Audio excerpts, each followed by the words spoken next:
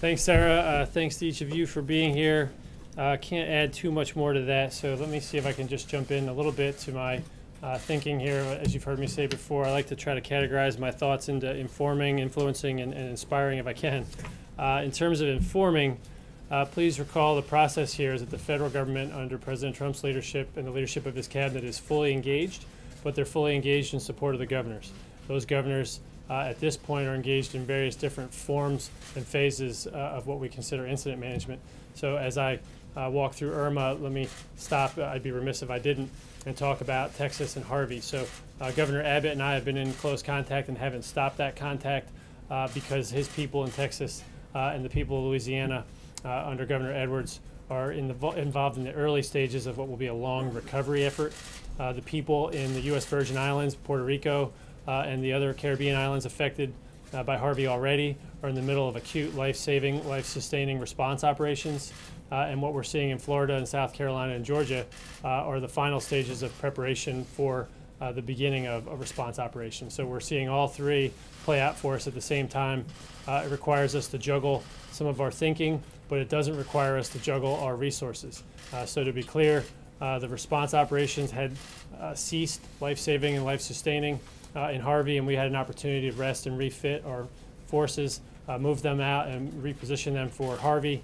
Uh, we're right now employing them in the islands to save lives, uh, and we will maintain a, a, good footprint and posture to do the same in Florida, South Carolina, and Georgia as the storm progresses. Uh, so I'll come back to some of the path and the track and forecast here in a moment. Uh, I'd like to see if I could reinforce that by suggesting we take this very seriously. It's not only a dangerous storm, we've already seen loss of life this storm has taken lives already. It's going to take more, unfortunately, if we're not prepared. So please take it seriously. Uh, I'd also suggest now, in terms of influencing, that people stop watching so carefully this track and start thinking a little bit more seriously about getting themselves into a safe place and out of danger. Uh, now, I don't want them to take that as a call for shadow evacuations. Please listen to your local authorities on evacuation orders. They're not only uh, looking out for your best interest, but they're carefully coordinating uh, this is a peninsula, and so people need to evacuate from south to north, and that is a staggered and carefully thought through process. Uh, but what I am suggesting is at this point, this is a large storm, and whether it wobbles left or wobbles right, uh, you need to, at this point, start thinking through your own personal accountability. So please uh, make, so, make sure it's kind of a oxygen mask, mask theory. Uh, take care of yourself first so you can take care of others, uh, take care of your loved ones, and if you're able, please take care of strangers and others in need. I think that's something that we've seen in Texas, and I have every reason to believe that the people of Florida and South Carolina will show that same American spirit and value. Uh, lastly, if I can, there's been a lot of kind of coverage of Florida, but not necessarily media coverage of the U.S. Virgin Islands. And if I can, I'll give you a brief update on where we stand there. We are, as I just talked to the uh, Department of State and Department of Defense officials, uh, engaging in this life-saving, uh, life-sustaining operation in the following way. Governor Mapp is experiencing uh, loss of power, uh, loss of water as a result, loss of communications, and some other sheltering needs. And so what we're doing is sending in air operations and surface operations to evacuate citizens. Uh, we're also doing that in St. Martin and St. Martin, uh, the Dutch French uh, island that's been reported. There are some American citizens there. we are currently in the final stages of operations planning to evacuate those citizens. There are numbers ranging from 350 to 6,000 uh, that was our planning assumption parameter. Uh, those, uh, those American citizens will be removed via surface and air means. Uh, we've had to do some kind of planning adjustment for uh, surf conditions, for wind, and for Hurricane Jose. Uh, as we look forward to that, hopefully missing the United States, it's unfortunately still causing some havoc in the islands in our response operations, our evacuation operations. So that's where we stand on that. They'll begin executing those plans, if not already, some point soon today and we'll see some of those American citizens uh, and others evacuated as necessary to include anyone with critical or acute uh, medical needs. So uh, that's where I would stop on the update, and then I'll take your questions. So if I could come down here, sir, please. Uh, Tom, one of the big problems with the Florida evacuation is that so many gas stations are, are running out of gasoline. What, if anything, can the federal government do in the next 24 hours to assist in getting more fuel to people in Florida? Yeah, so there's a number of things that we've done. I, I should stop and, and you know, mention by name Governor Scott. Tremendous leadership, tremendous confidence. He and the president have spoken. He and I have spoken. Uh, I've got every confidence in the governor and his emergency manager. They're demonstrating the same leadership, resolve, and skill and quality of, of effort that we saw in Texas uh, a week ago. What we're seeing in Florida, though, are fuel shortages. We saw those same fuel shortage, shortages in Texas because uh, people appropriately gas up their generators, their cars, their boats, and so forth. So, uh, what we'll see here now is a need to pull in additional fuel, and that need will run up against the onset of tropical uh, storm force winds. So, what are we doing? We're bringing in as much supply of refined fuel as possible, and uh, we've waived uh, a particular uh, statute that, that allows for uh, foreign flag vessels to help in that effort. So, it's a little technical, but it's called the Jones Act. Some of you have reported on it. What happens is the Secretary of Homeland Security can waive that act. Uh, until that's waived, only U.S. flagged vessels can move fuel from point to point domestically.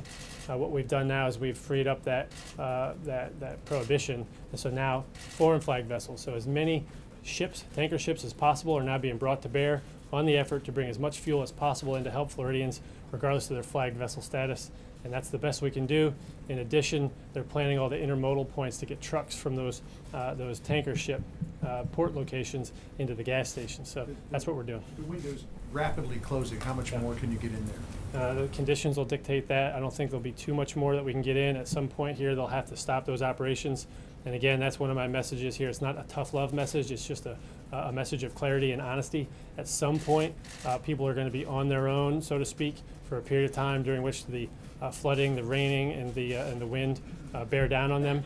Uh, and they need to be prepared if they are in that path and haven't taken some action to get themselves uh, in a less dangerous position to be ready for at least a 72 hour period. That would be my advice uh, for them to have enough food, water, and, and uh, shelter uh, before the government can get back in. We have pre deployed and pre staged, but we can't actually get to that final point of care until conditions permit.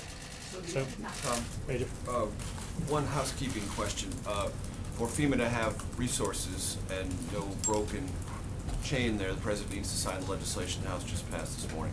Any indication of when that's going to happen? So I'd like to start by thanking Congress. They came in in a fast way to give us the emergency supplemental funding. I think that's what you're alluding to. Uh, first, FEMA still has the money that, that they need, so there's no break in operations. I want to make sure to clarify on your question there.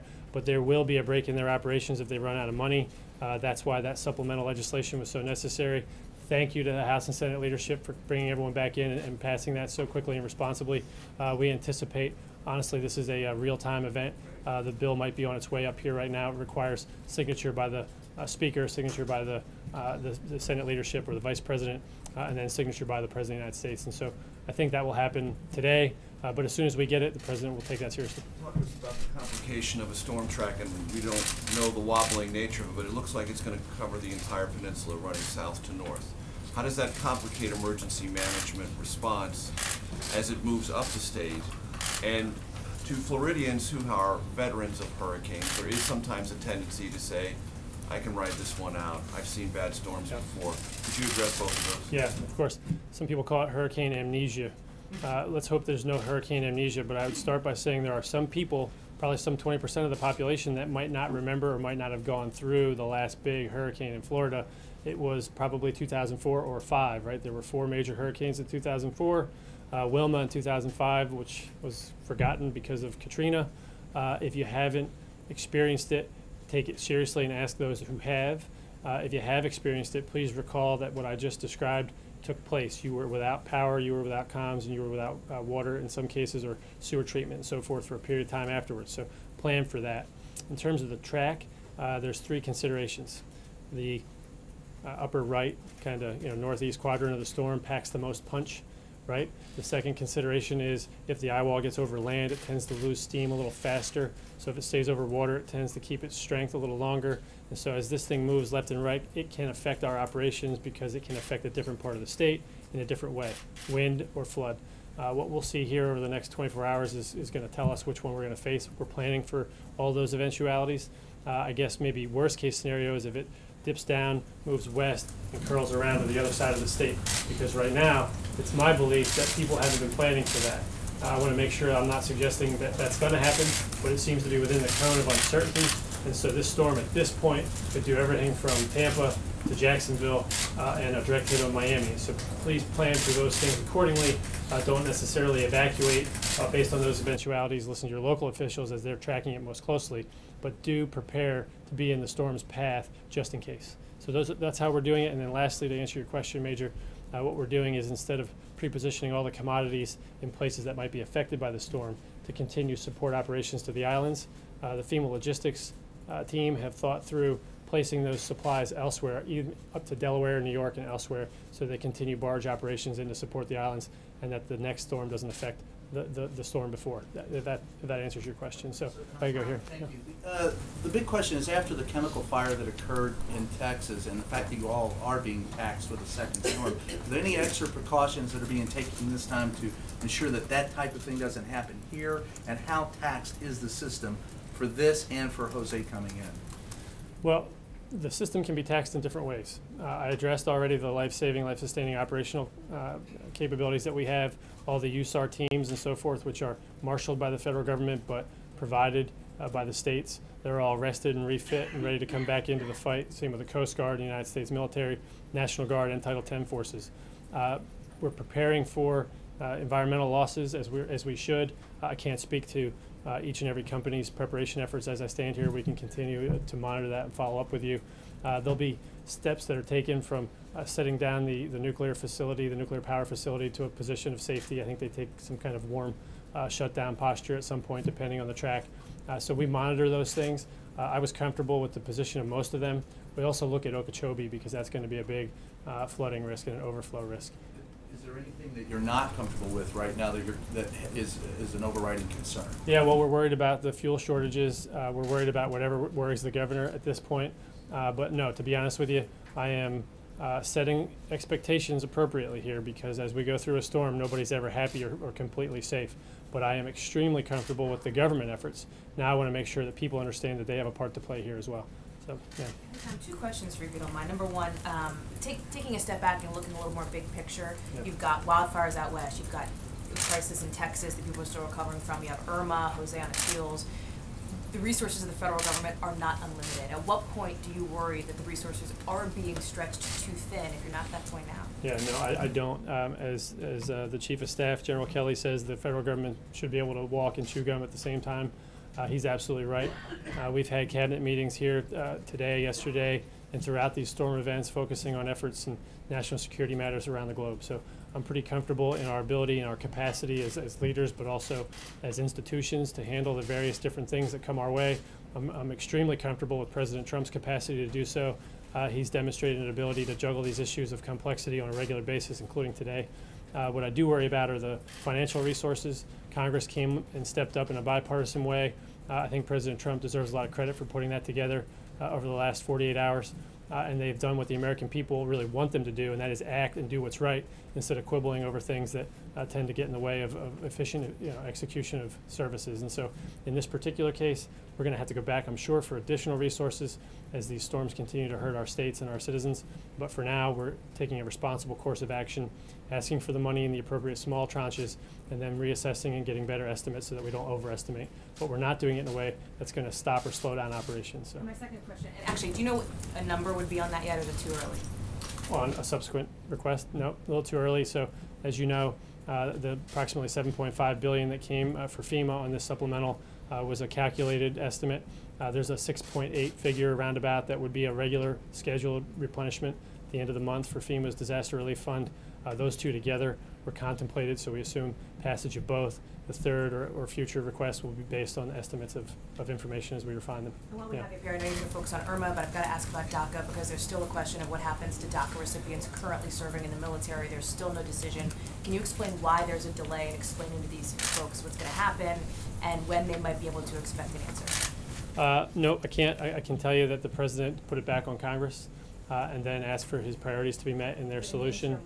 Uh, in the interim window, I, I, I, I'm not sure, to be honest with you, what the answer is on the, on the military uh, uh, part of DACA, but I thought we were clear. I'll find and make sure I get back to you on that. Yeah. Yeah. Um, um, Given uh, Harvey and the flooding and the recovery efforts that you talked about, and then the- what may happen with Irma, um, there have been reports that you all are considering, or reconsidering the flood, uh, uh, reversing the flood plain regulations that the Obama administration put in. Can you talk about whether you are in fact reconsidering that, either putting back those regulations or drafting new regulations that would that would once again toughen back up the, the flood regulations, given that we're, we're gonna be facing a lot of those issues as, Yeah. as both of these places recover. Yeah, no, I won't necessarily accept the, the premise of the question, but I will answer the spirit of it. So it's not about tough or not tough, it's about smart or not smart. And I think the answer here, uh, I think I went out and did this in one of your publications. Uh, the answer here is that we shouldn't use federal money to rebuild in ways that don't anticipate future flood risk. So we need to build back smarter uh, and, and stronger against floodplain concerns when we use federal dollars. Uh, what, what happened in the president's infrastructure executive order was the rescission of an Obama era order uh, that had a broad ranging uh, and overreaching scope uh, into construction permitting. Uh, and at the time that we rescinded it, we did so uh, in the hope of expediting infrastructure development in this country, which I think was a smart move uh, for what it's worth. Uh, the president certainly did as well. But now what we have to do is replace with thoughtful, uh, uh, whether it's an executive order, regulations, or both, uh, st- uh, building standards and practices for the expenditure of federal money that makes uh, floodplain and, and risk mitigation sense. So we are, There will be a, there will be some kind of affirmative effort yeah. to. In the interim, I should point out two things here, right? Not to be defensive, but first, that Obama era executive order had not turned into a regulation yet. So nothing uh, in this storm would have changed whether we, whether we acted or didn't act, if that makes sense. So this was not an immediate or poorly thought through uh, step. And then secondly, uh, whether we put forward an executive order or not, we do have the latitude under the current Stafford Act authorities and other laws to put into these uh, buil- rebuilding practices in Texas and Florida appropriate floodplain management practices. Uh, but we want to make sure we think through how to codify that for the future in the next month. Tom, Ma'am. uh, um, On Monday, we're seeing an anniversary, 9/11, and the nation right now is seeing a lot of vulnerabilities, speaking of what we said. What is the threat level, and what is this administration doing as it relates to moving into uh, this tragic anniversary, remembering this tragic anniversary? Uh, well, um, I was kind of personally motivated into service on that day, uh, and that's why I've come back to service here again. Um, the counterterrorism mission is the one I take the most seriously, and uh, President Trump will, as uh, presidents before him and since 9/11, uh, receive uh, a comprehensive picture of the terrorist threat environment and what we're doing to counter it from his senior officials on 9/11. Uh, or I think on Monday we'll do this. We'll get the timing of that to you, and we'll give you a readout. Uh, he'll do that. That's a practice that we've started uh, since 9/11. Presidents uh, Bush and Obama maintained that practice. President Trump intends to do the same. Uh, and then I'll let the uh, the team announce his planned event for or schedule of events for attending any ceremonies and, and paying some respects. But for the most part, I'd encourage the administration, who will, I'm sure, fan out and give appropriate speeches, uh, to show some solemnity that day and, and not talk too much about policy. Uh, it's a day of remembrance and respect. What's the threat level right now as we go into um, 9/11 and with the vulnerabilities that we are seeing Yeah. throughout this nation? Yeah, no terrorist should view us as vulnerable right now, farthest thing from the truth. Okay? Second, there is no actionable, credible threat to the United States right now. Uh, we run those regular risk posture meetings uh, here at the White House, and we bring together the entirety of the intelligence community when we do so. Uh, there is no current, credible, actionable threat, uh, terrorist threat against the homeland, uh, but we will continue to track that. And if we learn of such a thing, uh, we communicate it to our law enforcement authorities and to the public as soon as we learn of it. Yeah, thank you, sir. Tom, in, in addition to the issue of supplies of oil and gas, there's the issue of price. And gasoline has got jacked up about 70 cents a gallon. I remember at an earlier briefing, you said you'd be monitoring to make sure there isn't gouging. Yep. Are you monitoring beyond the issue of supply and demand? Because that seems to be a pretty bad excuse just to raise prices and to make sure that it's data-based? Yeah, so the idea is trying to determine, it's a fact-based determination, the difference between gouging and, and supply and demand price indicators. So I'd ask you to remember one thing, uh, the refineries, at least five or six of them in Houston are still down. So we've got a refinery uh, issue on one side and we've got an increased demand issue on the other side. And so uh, that's nece- necessarily generally going to raise prices, but it's a short-term price spike in our experience. Uh, we'll, we'll try to differentiate that from gouging as we examine any potential allegations of that practice. But for right now, Floridians are pretty well used to this, and I think they're pretty well used to their attorney general uh, prosecuting them in Florida. So I'm not uh, of the opinion that I have to issue too many warnings from this this podium again. But uh, in case anybody missed me last time, gouging won't be tolerated. Period.